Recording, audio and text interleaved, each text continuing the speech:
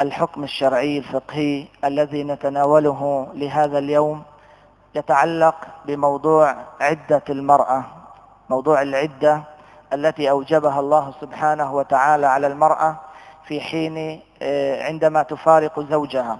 نقول باختصار لا شك أحكام العدة كثيرة ولكن نعرج على بعضها من باب معرفة بعض الشيء. أولا أيها الإخوة عدة المتوفى عنها زوجها أربعة أشهر وعشرة أيام ولو كانت عجوزا. حتى ولو كان عمرها مئة عام لا تسقط عنها العدة لأن العدة ليست هي فقط لبراءة الرحم. هذه إحدى الحكم لكن العدة فيها معنى تعبدي لله سبحانه وتعالى.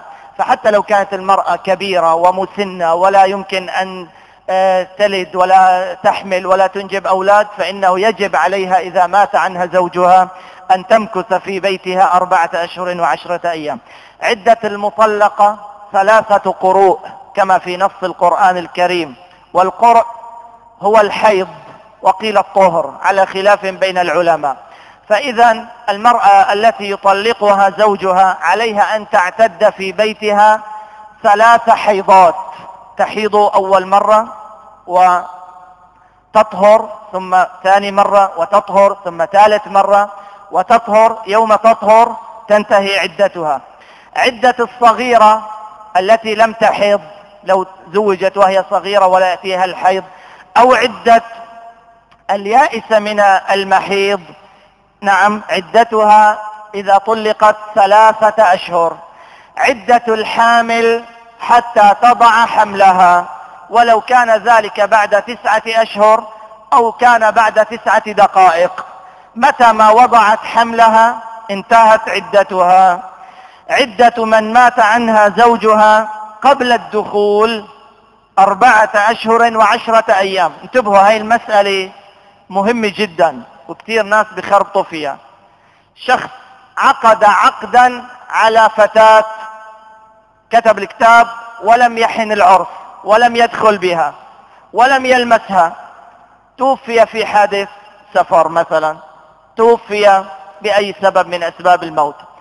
هذه الفتاة التي كتب عليها لها حقوق الزوجة كاملة من الميراث وعليها أيضا العدة أربعة أشهر وعشرة أيام حتى ولو لم يلمسها.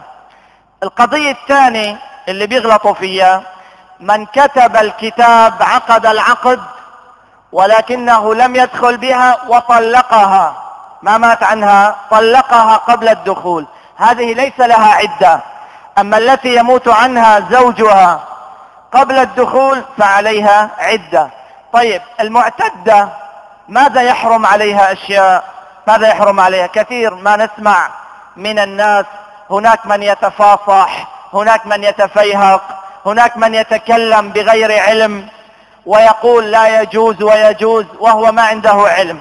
اذا المعتدة يحرم عليها أشياء. اولا عقد النكاح. ولو عقد نكاحها في العدة فهو نكاح باطل. ثانيا الخروج من بيتها إلا لحاجة ضرورية. الأصل أنها لا تخرج اطلاقا. لكن لو فرضنا أنها نقلت اسعاف إلى المستشفى أو كان عندها دعوة عند القاضي أو شيء من هذا فإنها تخرج وترجع إلى بيتها ولا تختلط بالرجال قدر المستطاع. ثالثا إضافة إلى هذه الأشياء يحرم الطيب والزينة والحلي لمن كانت معتدة على موت زوجها لأنه لا يليق بها أن تتطيب وتتعطر وتلبس ثياب ملونة وتضع الأساور والذهب وزوجها ميت. هنا في مسألة يعني دائما أسأل عنها. كأنه في الأسبوع الماضي حدثت مشكلة في البلد فيما يتعلق بهذه القضية. أنه هل يجوز للمرأة أن ترى زوجها بعد وفاته؟ أقول يا أخوان واحفظوا هذا الكلام وانقلوه. يجوز للمرأة بعد وفاة زوجها أن تغسله. مو بس تراه أن تودعه وتقبله وتلمسه وتغسله. كل هذا جائز بل بعض أهل العلم نقل الإجماع على هذا. الدليل روى الإمام مالك في الموطأ عن عبد الله بن أبي بكر أن أسماء بنت عميس هي زوجة سيدنا أبو بكر غسلت أبا بكر حين توفي. وهذا كان في حضرة كل الصحابة باستثناء أبو بكر. كان عمر وعثمان وعلي وطلحة والزبير كل هؤلاء كانوا موجودين. وغسلته زوجته أسماء. وفي الصحيح تقول السيدة عائشة رضي الله عنها لو استقبلت من أمري ما استدبرت يعني لو رجعت الأيام شوي لورا ما غسل رسول الله أحد غيري.